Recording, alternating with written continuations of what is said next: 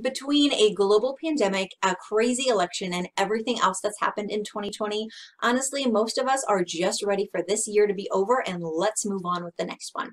But thankfully, the good news is no matter what's going on in the world right now, no matter what you're facing personally, you still can find true joy and peace in the midst of any circumstances you're facing. Today on the Equipping Godly Women podcast, we are speaking with Shaunti Feldhahn, author of the brand new devotional, Find Joy, a devotional journey to unshakable wonder in an uncertain world. In today's interview, Shaunti is sharing the difference between happiness and joy, something that we're doing that unfortunately self-sabotages us from experiencing this joy, as well as some super practical ways that we can experience more joy in our lives no matter what we're going through today. So whether you are facing an impossible situation or you're just annoyed with 2020 and ready for it to be over, I really hope you'll stay tuned.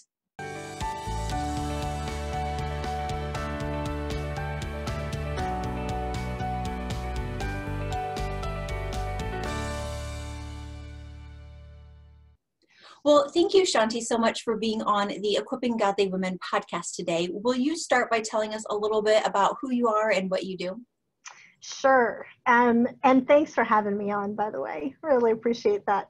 Yeah, my I have a very interesting um, sort of different background. I um, have am primarily a social researcher, and my background is not um, what normally you would think of for people like that. I actually started out on Wall Street and have a really analytical background.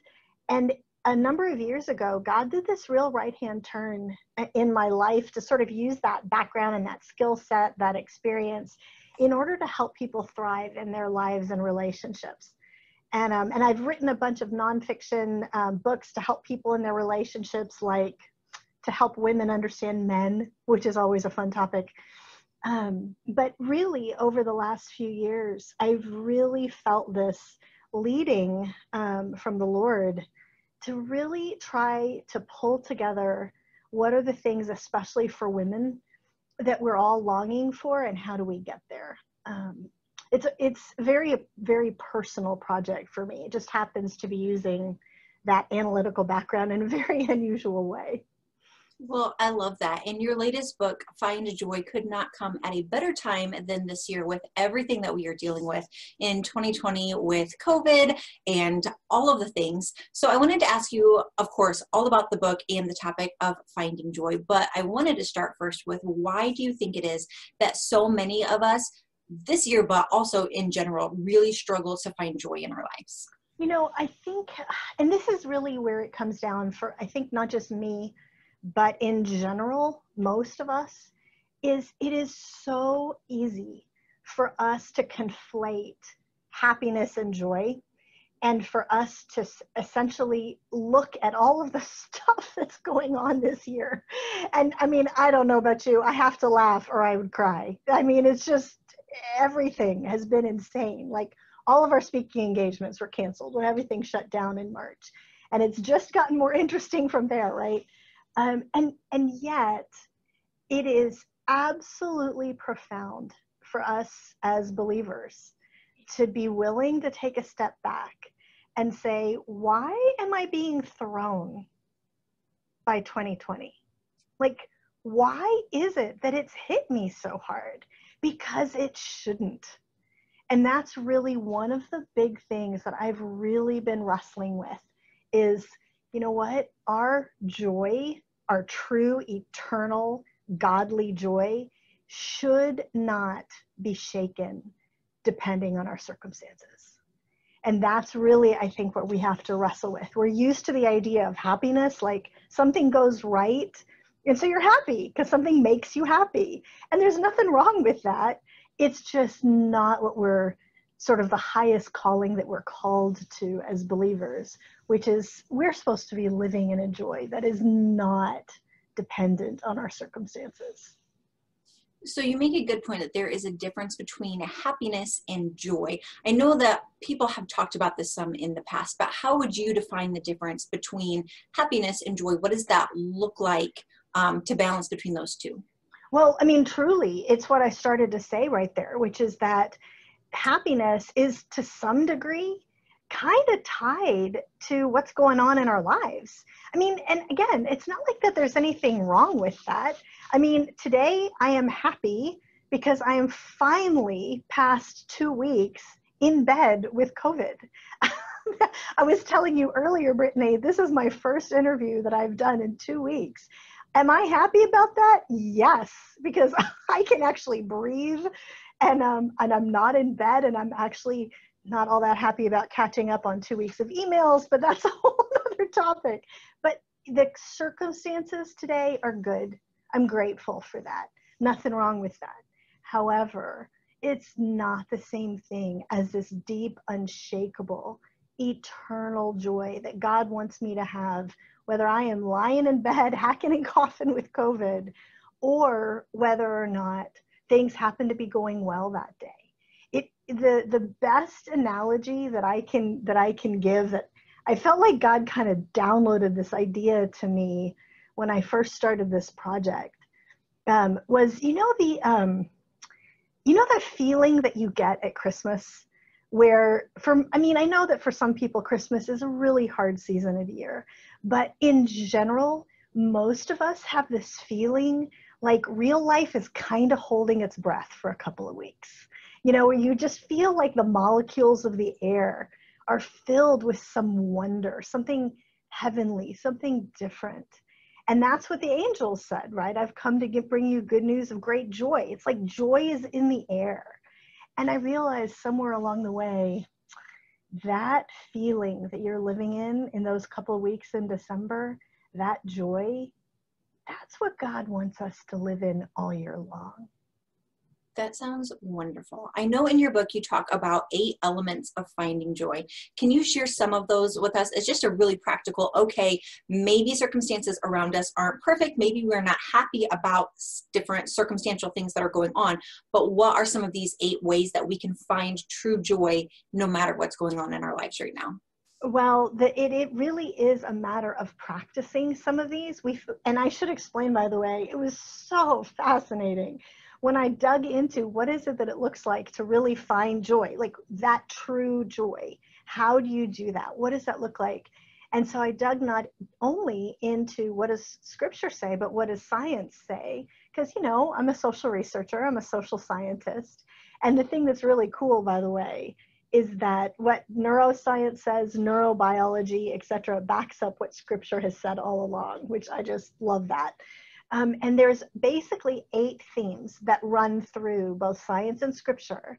And one of them is the absolute need to practice gratitude. It's interesting. We all know that having an attitude of gratitude is crucial. I mean, we tell our kids that, right? Have an attitude of gratitude. And yet, for us as grown-ups, sometimes it's a little hard to go, what does that look like? Like, how do you do that? And, um, and I'll give you an example of something that is so profound that we see in both the neuroscience and you see also in the Bible, um, is in terms of how you do that. One of the things I think probably Brittany, if you're if you're like me, if you're listeners or anything like me, you know, for for me as a woman, one of the things that'll steal my joy quicker than almost anything else is if I'm at odds with somebody who is close to me, like my husband or a close friend, for example. Like for us as women, it's like if something is going on in those relationships, nothing is right with the world until that's resolved, right? And and it's interesting, there's a a passage in scripture that tackles a situation exactly like that and gives gratitude and a sort of a prescription for how you get there as the solution. If you look at Philippians 4, for example, you see that it starts with Paul talking about these two women who are having this significant personality conflict. And I don't know if you've ever been at odds with a good friend. I know I have. It's not good, it's not fun. And Paul basically in Philippians 4 he pleads with these women to get along and figure out how to be friends again. And when you and when you look at what he says for how to do that, he says the first thing is rejoice. He says, I'm going to say it again, rejoice. Like this is a big deal. And you kind of go, okay, well, first of all, what does it have to do with anything? what does rejoice have to do with fixing a friendship to begin with? But then, secondly, how do you rejoice when you're in a difficult situation? Like Paul is in prison, he's chained to a wall. You know, these women are part of a persecuted church where they could be killed at any moment. Like, how do you rejoice in a prison or a difficult marriage or a difficult friendship? And he says, here's the prescription. He tells you just a few verses later, if you look at Philippians 4 8. He says, here's how you do that. You think on those things that are excellent. You think on those things that are lovely. You think about those things that are worthy of praise rather than the things that are worthy of driving you crazy. and that is the prescription for practicing gratitude, whether it's in need of fixing a relationship or anything that's going on in a difficult season in your life, is to truly think about, focus on, attune yourself to, and thank God for those things that are good right now. And I think you're right, how you mentioned earlier, we help our kids do this. I know I talk to my kids all the time about gratitude. If they start complaining, like, okay, how can we put this in a nicer way? How can we find something nice? Like yesterday, I was literally feeding my kids homemade raspberry cheesecake. And I'm like, here you go. Here is this cheesecake we made together. I mean, it's cheesecake. Who's going to complain? It has an Oreo crumb cake or. Oh my God, Brittany. it was so good. Like we took the time, got together with the kids, made this cheesecake. It's amazing. And all three of my kids sat at the counter and they're like, well, I don't really like cream cheese. It's not really that good. And I'm like, really? We just made a cheesecake and this is what you're going to tell me is, well, I don't really like cream cheese. How about thanks mom for making a dessert with us how about thanks mom this oreo crust is really good and we'd have these conversations with our kids where we're like okay you could complain about one negative thing or like let's start thinking of something positive. I tell my kids this all of the time.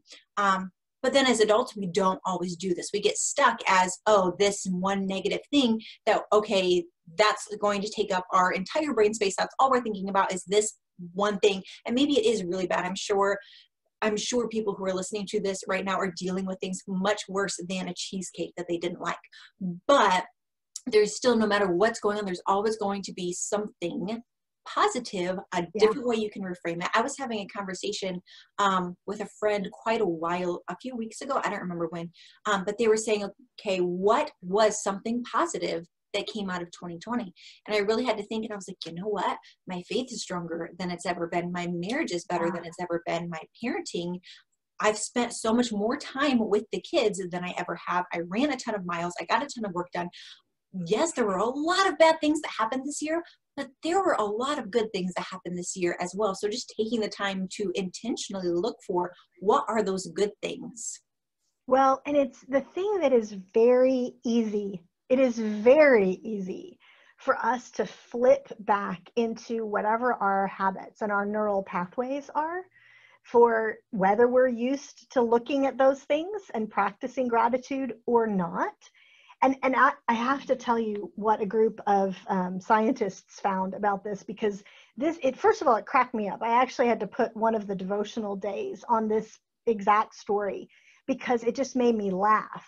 Um, because we don't recognize how easy it is for us to fall into patterns and it's either going to be sort of the good and healthy patterns or it's going to be something that causes issues and we just don't necessarily even realize it. There was a group of um, plastic surgeons of all people in i think london in the uk somewhere um, a number of years ago. These plastic surgeons noticed that their botox patients you know you inject botox to get rid of lines and wrinkles and they had noticed that these patients were having such a better like positive outlook.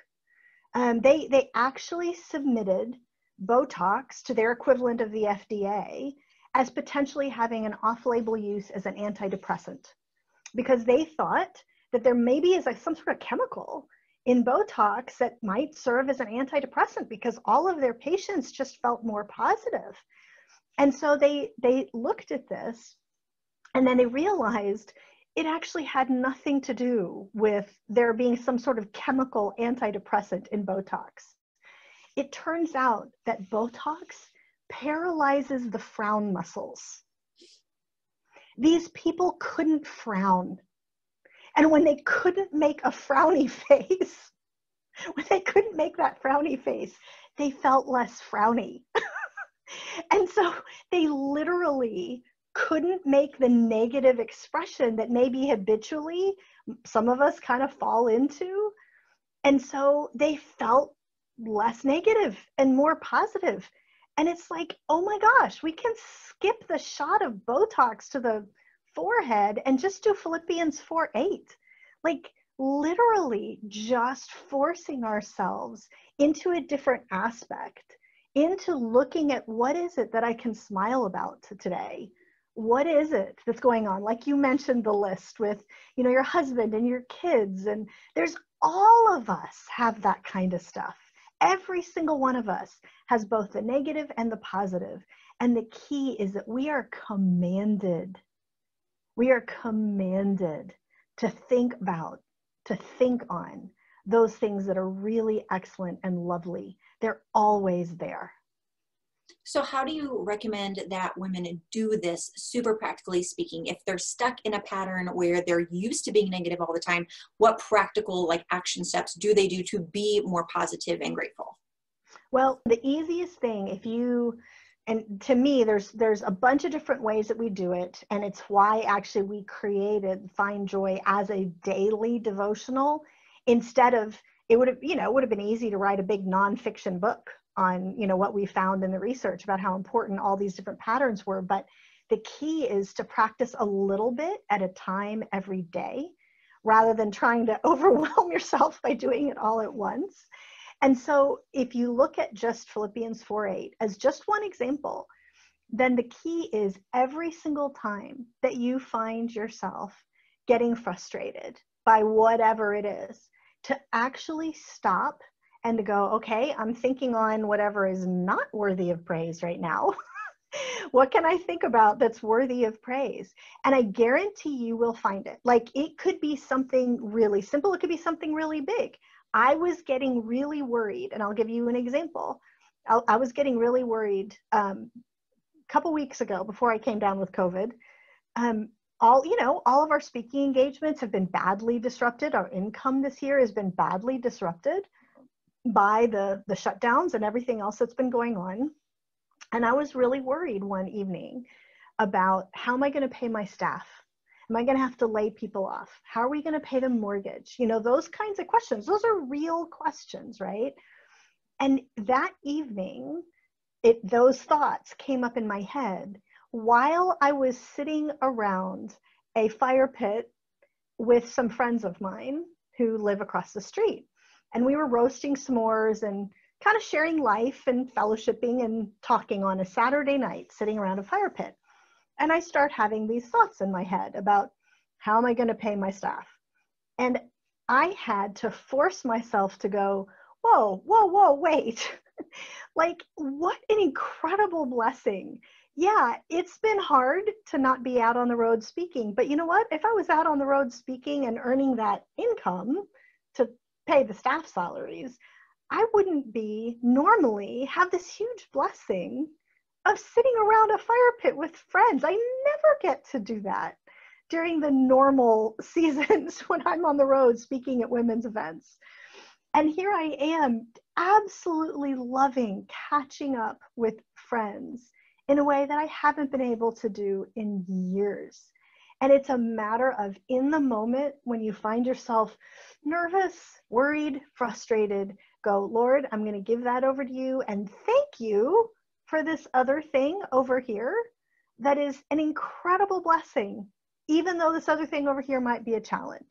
You, you, it is literally just a matter of changing your perspective. Okay, so let me ask you this follow up question then. Yeah. I understand that that would be really great for finding joy and feeling more peaceful. However, I would imagine we don't want to go so far where we're like, oh, we have these huge financial problems and we've been laid off and we are going to get evicted, but let's just think about happy things. So, how do you balance the difference between, okay, we want to be grateful for where we're at and all the good things, but there may be some significant issues that we really do need to address and not just think happy thoughts? Well, there's nothing that says finding joy and taking action are mutually exclusive, right? I mean, that's one of the things that we, our whole uh, ministry, we are trying very hard to honor God in our thought processes, in finding gratitude and practicing that, doing everything I just said, and at the same time pivoting and going, okay, and this is what this is what we had to do. If you're watching us on video right now, you'll see I'm in a, a video studio.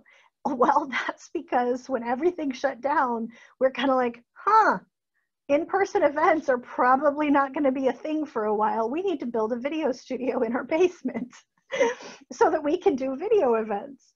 And so it's not mutually exclusive. Just because you're trying to honor God in your thought life doesn't mean you also don't take actions that He leads you to do and that can be a way of honoring God as well because you're stewarding Absolutely. what He has given you and using the brain He has given you to make positive choices to take good care of your family. And you can be grateful at the same time that you're also reaching for more and stability and all of those things as well.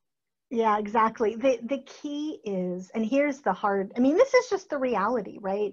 It is a matter truly of deciding in the middle of everything, it doesn't matter what is actually going on around me, I am going to choose to honor God with my thought life. I am going to choose to find joy in that way that He has commanded us to.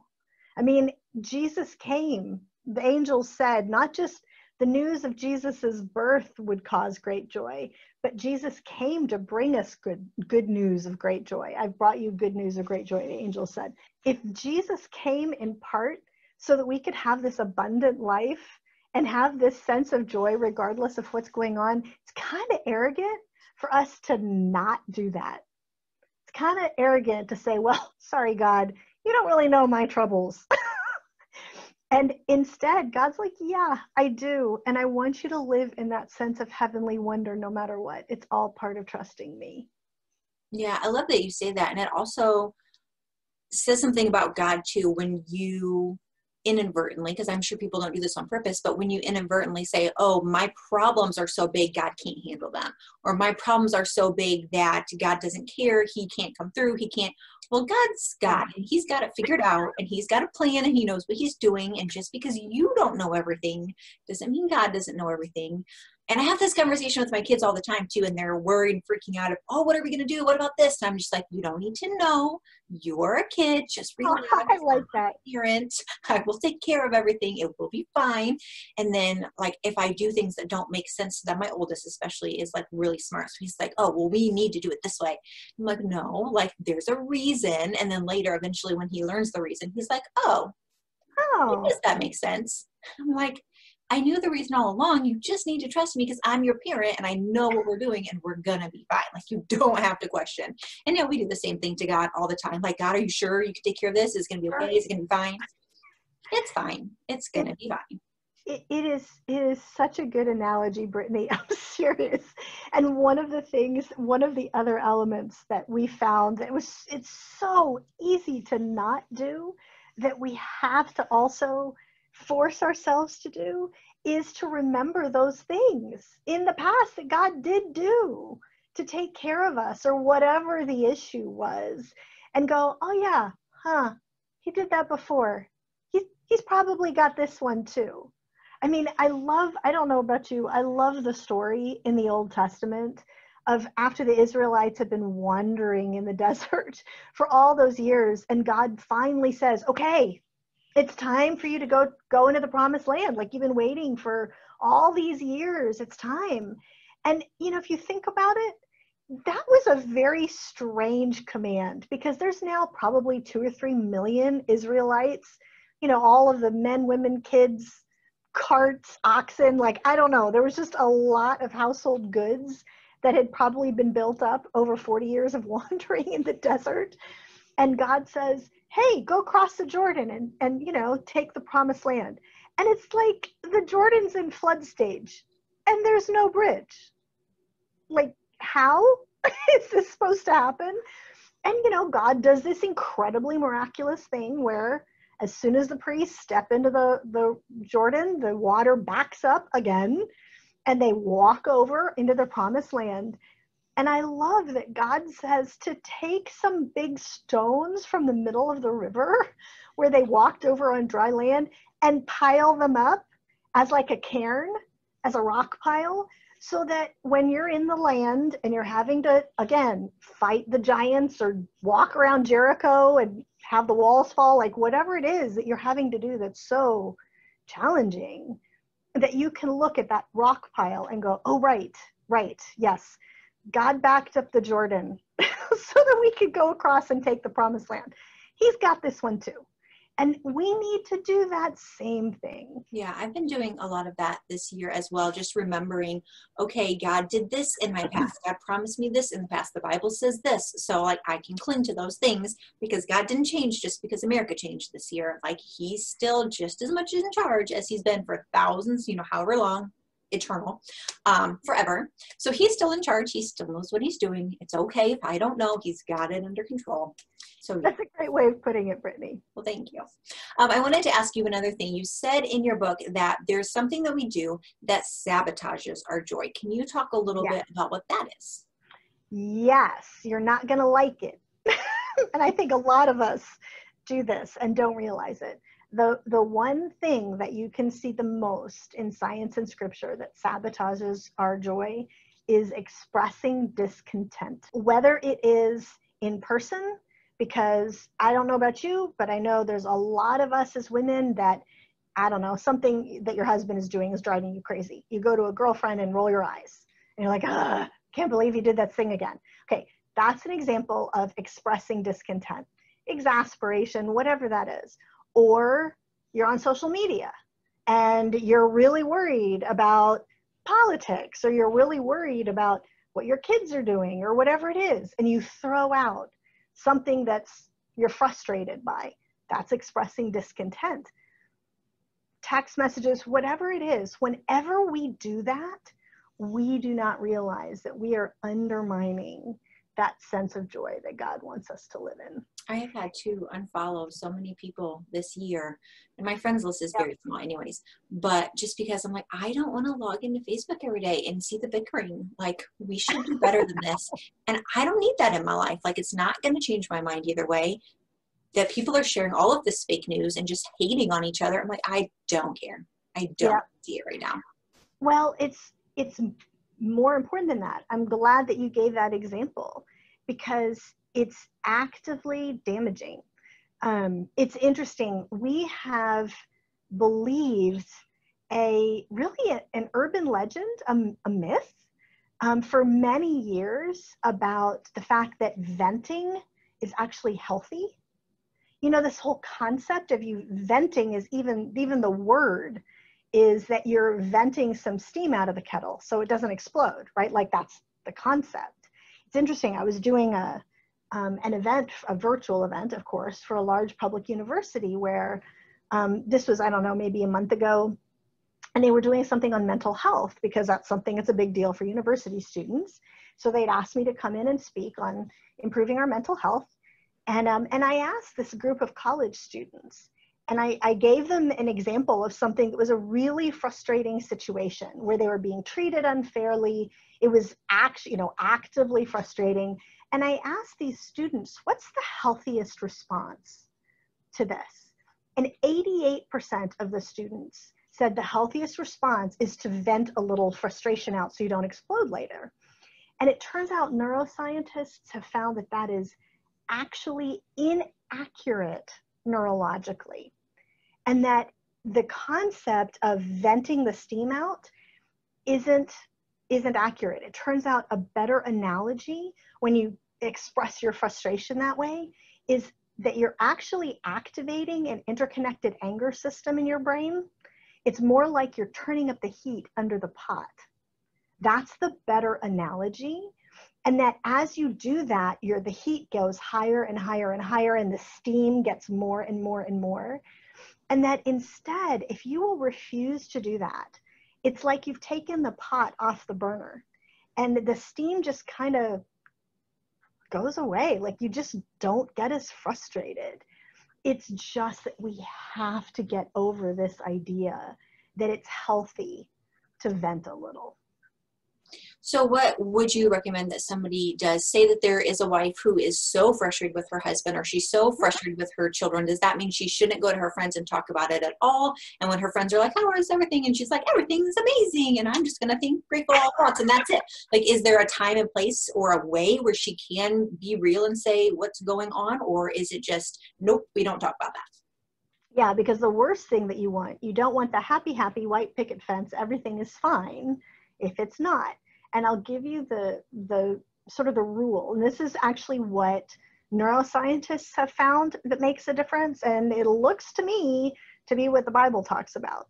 Because the Bible talks a lot about not grumbling and complaining, right? Like mm-hmm. there's a lot in there about that. And what's the difference if you are having, let's just say you're having a difficult time with your husband or a difficult time with your kids, whatever the example is you have to be honest. I have to be honest with myself and recognize that sometimes when I go to a girlfriend and I am sharing something, I am sharing something for the pleasure of saying, You would not believe what happened in my household yesterday. And mm-hmm. that is the unhealthy thing, as opposed to going to a close friend and saying, Look, I don't want to get into a ton of details, but I need some advice and being very calm and asking sort of for mutual support and asking for prayer. And there is a real need for us to be very honest with ourselves about what's the motivation behind why I'm sharing what I'm sharing. Is it so that I can, you and I can bond over the, oh my gosh, what a crazy thing? Or is it so that I truly can get some support and some counsel. And maybe that even comes with, no, I'm not going to share all the details. That would I would love to tell you what's actually going on, but maybe I'm not supposed to. And actually experimenting with that and seeing if God changes your ability to find joy in the midst of it. Yeah, because I would hate to cut out all of those conversations all together. I know that I have had conversations with my girlfriends where it is very helpful and not in a kind of complaining, nagging sort of way, but just to be able to say, hey, here's what my, like, especially when I was like an early newlywed, like, here's what my life and my marriage looks like. Like, is, does yours look the same? Like, is this normal? Is this okay? And to yeah. have another girlfriend who, who can be like, yes, my husband is the exact same way. And like, this is normal. And here's how we get through it. And so a little bit of just kind of feeling out like how do i feel about this? Sometimes i have to talk about it but not in the sense of well let me come trash talk my husband. Um, and i think that there that would be a big difference. Huge difference. And it's a great example brittany truly. I mean that that is one of the examples that i think every woman knows the difference if we're honest with ourselves is and we all know what it feels like to be in a group of women where suddenly you're realizing wait, how in the, are we in the middle of a gripe fest about what's going on with husbands or our kids or whatever? And recognizing that kind of sense of the Holy Spirit going, this isn't healthy. We all know what that feels like. The key is that some, I hate to say it, some of us have grown to find joy in that. And it is absolutely unhealthy and it's counterfeit and it's damaging and it'll kill us as opposed to what God says for us, which is to set aside all grumbling and complaining, shine like stars in a crooked and depraved generation. Look for the things, if if it's a true gripe fest, look for the ways to turn that. Look for the ways to bring up something positive. But if you need support, absolutely of course, that's all part of why God says we're not meant to do life alone. We're supposed to have fellowship so that we can support one another. Well, Shaunti, thank you so much for coming on the podcast today. Will you just give us quick information about your book, what is in it, who is it for, and where we can find it? Sure. The the devotional is called Find Joy, and um, and I the the subtitle that they chose, I just love it. It's Find Joy, a devotional journey to unshakable wonder in an uncertain world.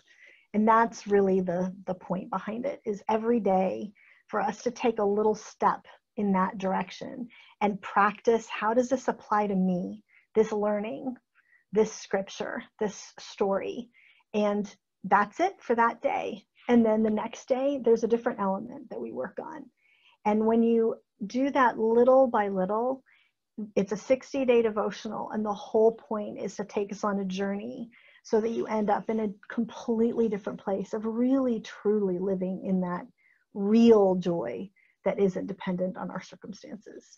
And I love how you said that it makes so much sense for this book to be a devotional. So you can get in every morning, every afternoon, whenever it is, but every day, and you can get in and have that reminder and work on it over time rather than just how I like to read books is just sit for two hours straight and like skim through the whole thing. And I'm like, yes, gonna have more joy. And a week later, I'm like, yeah, I don't even remember what I read. So I love this idea of a devotional. It sounds perfect.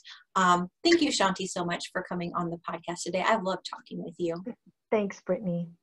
All right, that just about does it for today's interview. If you would love to hear more from Shaunti, I would highly encourage you to check out her brand new devotional, Find Joy, a devotional journey to unshakable wonder in an uncertain world. With 60 daily devotionals, this book will absolutely help you get on track to experiencing more gratitude as we close out 2020 and get ready to start 2021 strong.